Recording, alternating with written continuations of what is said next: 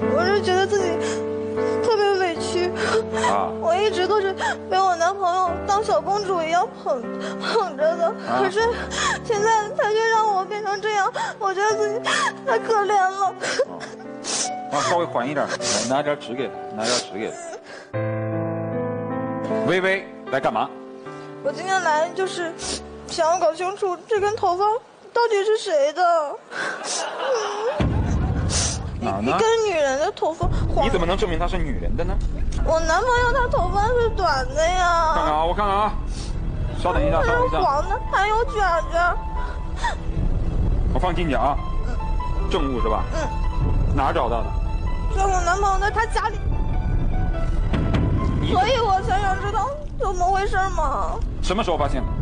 一个星期前，他们家最近变得异常的干净，而且他的衣服都有都洗干净、叠好、熨好，挂在那儿。也许就是有人帮他打扫钟点工吗？他不会啊，他从来不请那个，他从来都觉得。你问他请了钟点工吗？我问过他，他没有。他说是他自己打扫的，是逼我。那你问他这个头发哪来的？我，他说他不知道。那他你问了有没有女人只是借用他的住所？你有问过？我每次问跟他谈到这个问题的时候，他就搪塞我、敷衍我，然后再我再一较真，他就走了，摔门走了。就从那之后，他对我越来越冷淡了。他之前不是这样的他的怎。么对你冷淡了？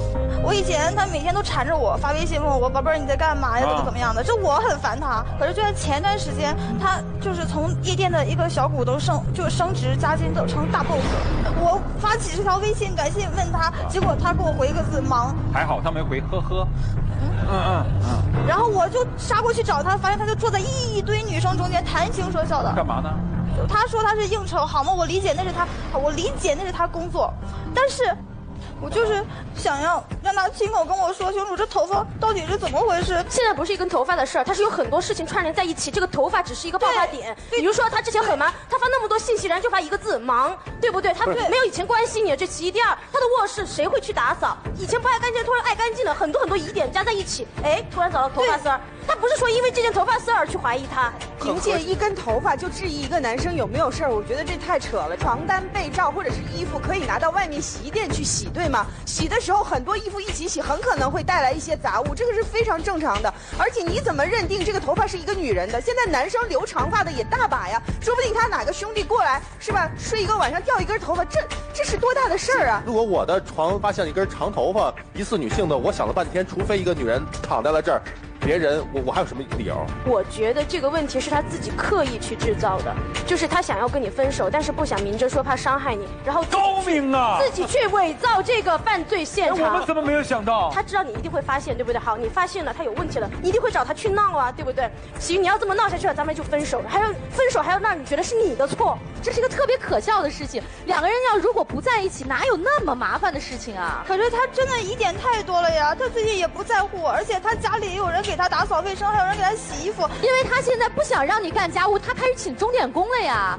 他有他的事业，他有他的朋友，而且男人是会变化的。他从一个原来不懂事的、很邋遢的一个单身汉，变成了一个懂得居家、把自己的居所打理的井井有条的男人。这么重要的进步，难道不应该点赞吗？还应该去怀疑吗？这么作，只能把自己的男人作走。是一根头发不能判定任何事情，对更重要是检视一下你和你朋男朋友相处之间的情感相处的模式是怎样的。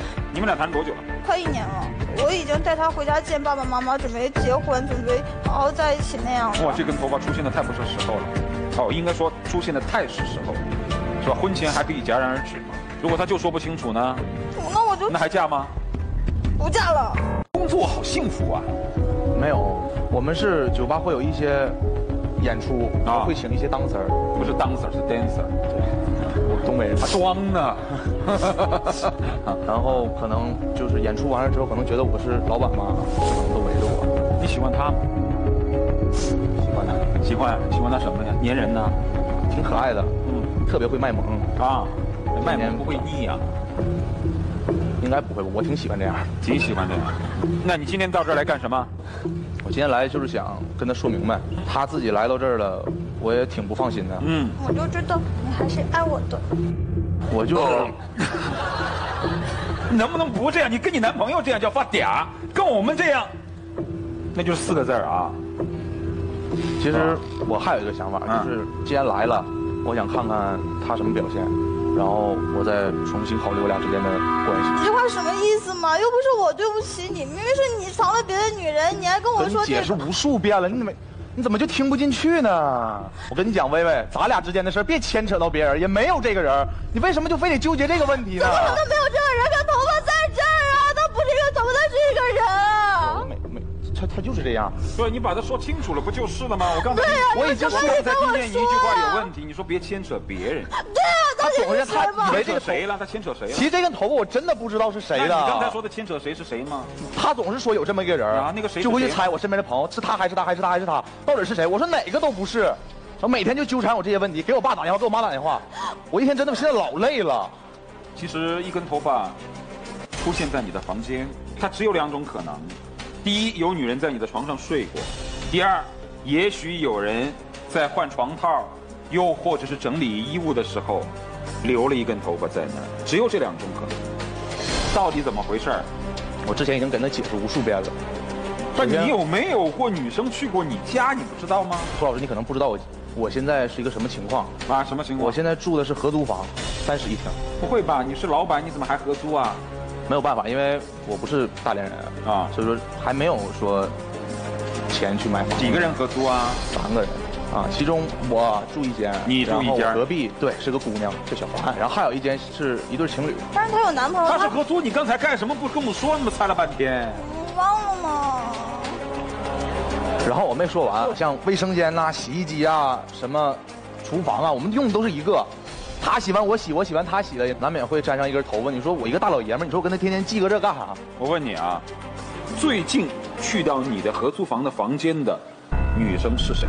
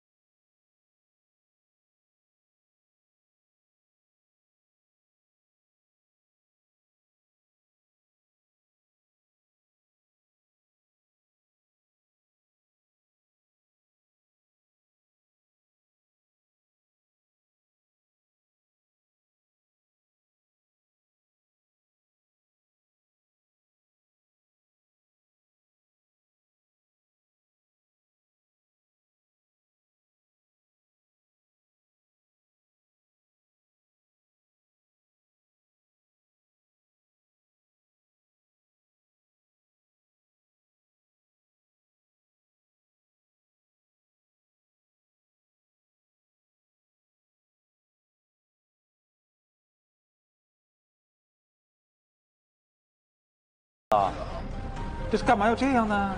我我真的就是受够他现在这样了。就是平常啊，你说情侣之间。